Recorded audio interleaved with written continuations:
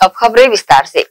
NH 53 में बन रहे कुम्हारी ओवरब्रिज की घटना कंस्ट्रक्शन कंपनी की बड़ी लापरवाही उजागर करती है। इस हादसे में एक हंसता खेलता परिवार उजड़ गया है। अधूरे फ्लाईओवर से गिरी बाइक चालक पति पत्नी की मौके पर ही मौत हुई और उनकी एक बेटी का अस्पताल में इलाज चल रहा है।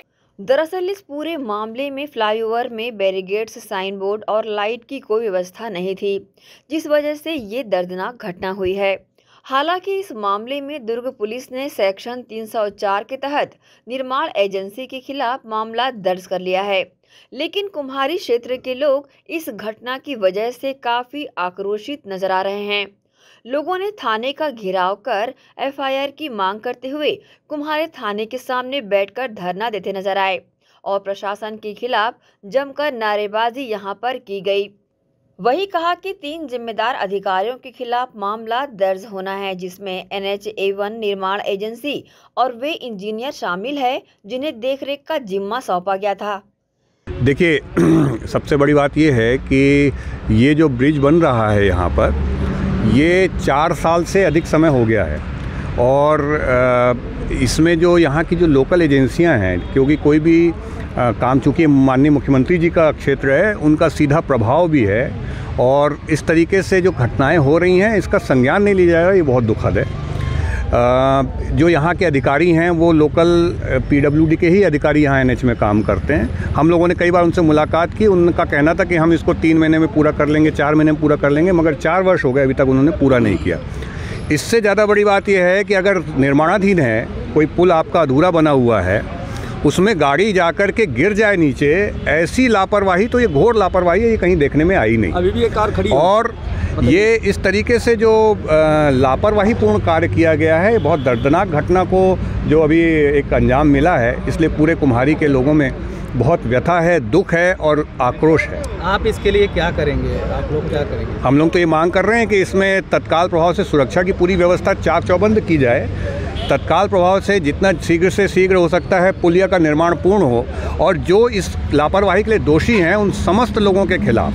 जो काम कर रहे हैं वो जो निरीक्षण कर रहे हैं वो अधिकारी और जो जितने भी जिम्मेदार लोग हैं सबके खिलाफ कठोर कार्रवाई हो ताकि एक संदेश जाए और इस तरीके की लापरवाही वापस से ना हो। मुख्यमंत्री जी ने खेद व्यक्त किया है इसको लेकर मुख्यमंत्री जी का क्षेत्र है खेद व्यक्त कर रहे हैं वो तो ठीक है। उनका क्षेत्र है चार साल से पुलिया बन रही है वो रोज़ आते जाते हैं यहाँ से।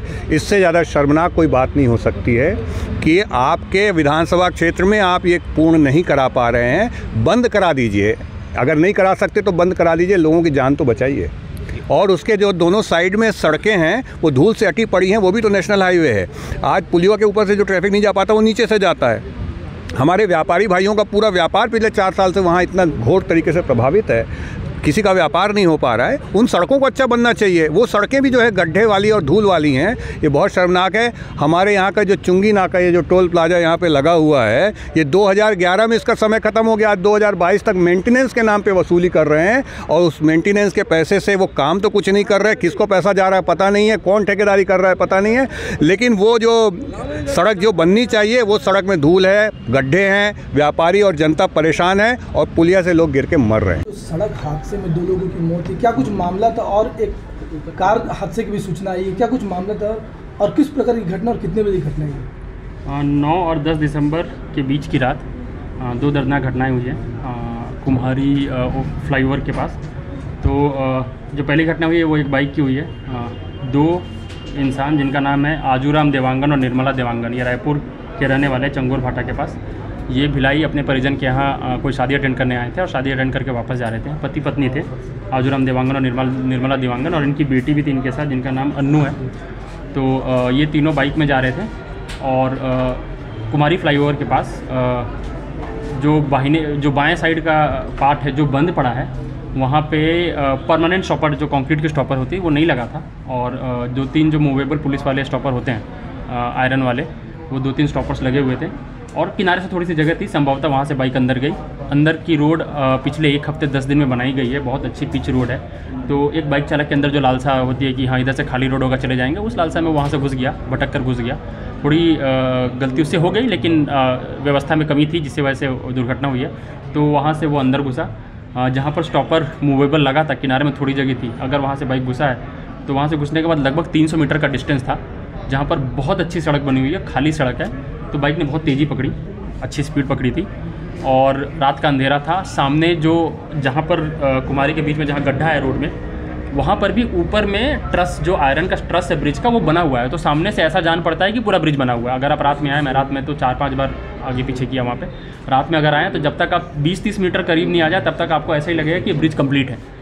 तो उसी भ्रम में वो इंसान था, दिवांगे जी इसी भ्रम में थे कि ब्रिज कंप्लीट है। जब वो बीस तीस मीटर के करीब आएँ, तब उन्हें अंदाज़ा होना शुरू हुआ कि ब्रिज कंप्लीट नहीं है और सामने गड्ढा उन्होंने ब्रेक भी लगाया। और ब्रेक लगाने के बाद भी गाड़ी लगभग धीरे हो गई थी लेकिन रुकी नहीं और नीचे गिरे। बेटी और पिता दोनों नीचे बाइक के साथ गिरे और जो महिला है जो पत्नी थी उनकी वो ऊपर के पिलर पे गिरी थी।